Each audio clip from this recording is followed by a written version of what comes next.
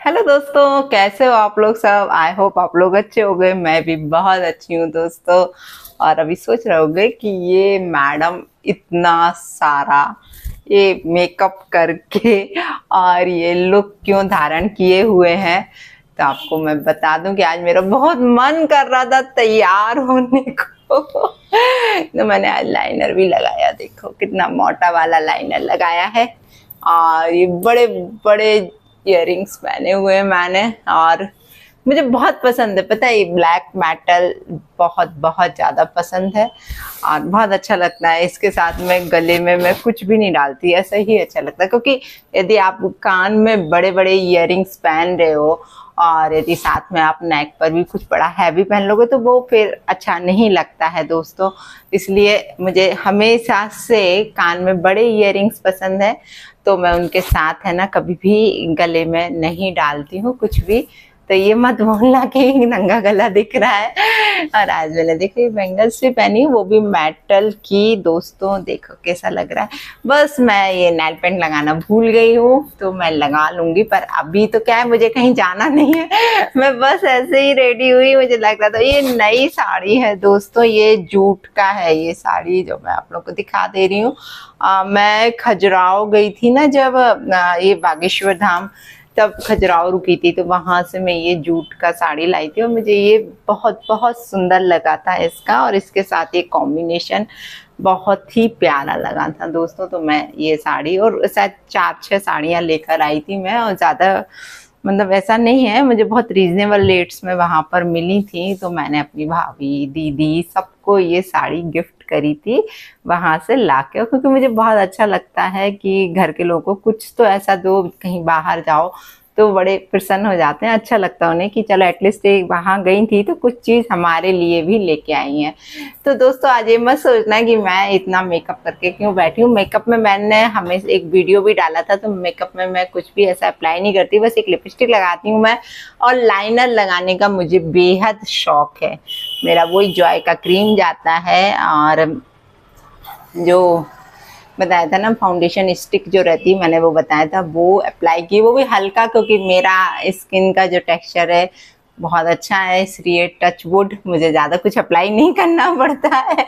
इसलिए skin already मेरी साफ़ है, इसलिए तो बस मुझे इतना ही लुक बेहद पसंद है, जब मैं कहीं भी जाती हूँ तो ये ही रूप धारण करती हूँ। इसको मैं ना आप लोग को फुल भी दिखा देती हूँ। और आज मैंने बाल नहीं बांधे हैं दोस्तों। तो मैं कैसी लग रही हूँ? भारत माता तो नहीं लग रही हूँ। शायद अभी मैंने, और मैंने तो हेयर वॉश भी नहीं करे थे तो इसलिए मैंने फिर बाल एकदम सभी, हालाँकि स्ट्रेट हैं बाल, लेकिन फिर भी मुझे लग रहा था कि थोड़ा सा कॉम कर लूँ मैं, लेकिन मैं कॉम नहीं कर पाई। मैंने कि चलो, पहले वीडियो ही बना लेते, नहीं तो वीडियो फिर नहीं बन पाएगा। क्योंकि आज क्या है, अभी राधिका गई है पेपर देने के लिए, और मिष्टी अभी दूसरे रूम में तो मिष्टी हमसे पूछ भी रही थी कि मम्मी, ये क्यों तैयार हो रही है आप इतनी? क्योंकि उन लोग को मालूम है कि उनकी माँ बहुत रेयर यदि कहीं पार्टी वार्टी में जाती है तो ही तैयार होती है। तो उन्हें लग रहा था कि माँ को आज कहीं जाना तो है नहीं है।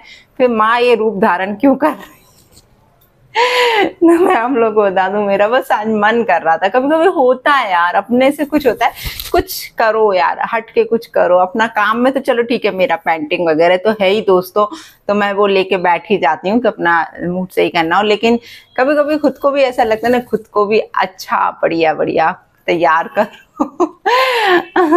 और मुझे बहुत शौक भी है दोस्तों, है ना? बेहद शौक है मुझे। सबसे पहले मुझे लाइनर लगाने का शौक है, आपको लग रहा होगा। ये देखिए, मैंने बहुत हल्का सा ना वो दिया हुआ है मतलब नीचे से बहुत लाइट लगाती हूँ मैं और ऊपर ज़रूर मुझे थोड़ा सा थिक लाइन पसंद है और कई लोगों ने मुझे कमेंट करके भी बोला हुआ है कि, मैडम, आप लाइनर कैसे लगाती हो? वो हम लोग को ज़रूर सिखाना।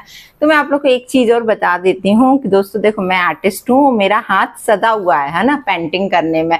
तो चेहरे पे पेंटिंग एक सट से लाइन खींचती है, मुझे कभी भी ऐसा नहीं कि धीरे से रुक रुक के लाइनर लगाना पड़ता हो, कभी भी ऐसा नहीं होता है। एक बार में, मैं बस एक बार में ये पूरा आउटलाइन देती हूँ, उसको जस्ट फिल कर लेती हूँ और ये जो स्टाइल है, मुझे बेहद पसंद है। बाहर पॉइंट निकालने वाला, इससे मेरी आईज बहुत सुंदर दिखती हैं, ना? इसलिए मैं ये इस तरह का पैटर्न लगाती हूँ अपनी आईज पर।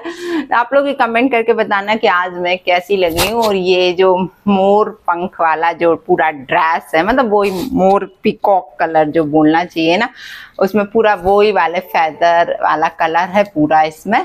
तो ये साड़ी का प्रिंट जो है ना, बहुत अट्रैक्टिव कर रहा था मुझे जब मैंने देखा था और मुझे मालूम था कि ये मेरे ऊपर बहुत सुंदर लगने वाली है इसलिए मैंने ये साड़ी ली। और आप लोग को भी कैसा लग रहा है इसका टेक्सचर आप लोग भी कभी बागेश्वर धाम जाओ तो खजुराहो ज़रूर जाना क्योंकि खजुराहो और, और बागेश्वर धाम मुश्किल से पंद्रह बीस से किलोमीटर है आई थिंक ऑटो से ही पहुँच जाते हैं तो वहाँ पर ये पूरा खजुराहो का पूरा मटेरियल इस टाइप से मिलता है जो हैंडमेड रहता है ये।